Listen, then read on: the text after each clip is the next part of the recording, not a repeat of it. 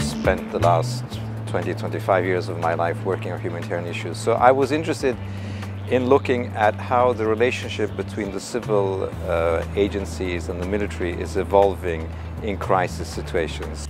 Crisis Commons is a, is a community of volunteers that use technology to help people in uh, times and places of crisis. So that could be someone um, that a community that's experiencing a hurricane or, or even an earthquake. And uh, volunteers from around the world get together um, and use their skills and resources and their, their social capital. I think first of all that the, the number and severity of sudden onset natural disasters is going to increase. We're going to see more mega disasters, more urban disasters, more places where disasters intersect with conflicts, where disasters intersect with technological failings such as in Japan. In those situations, the military needs to be prepared to respond quickly and in collaboration with a whole range of civilian actors. It's a complex world out there. I think the military does some things very, very well.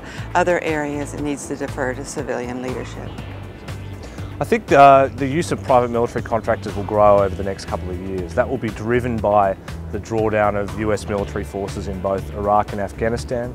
Um, there are projections that the use of security contractors in both of those countries purely for the US government will grow by up to 9% in the next five years.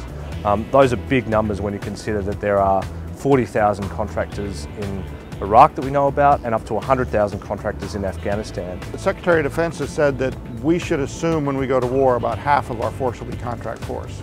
So that's for the essentially governmental functions that are part of any conflict. So that's pretty much the position of the United States right now. SecDef has signed the memo.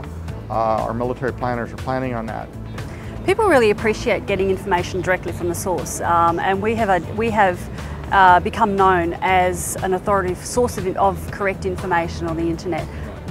So people really appreciate not having to rely on the media to screen or to uh, filter information. They just they really appreciate being able to get the entire story from us.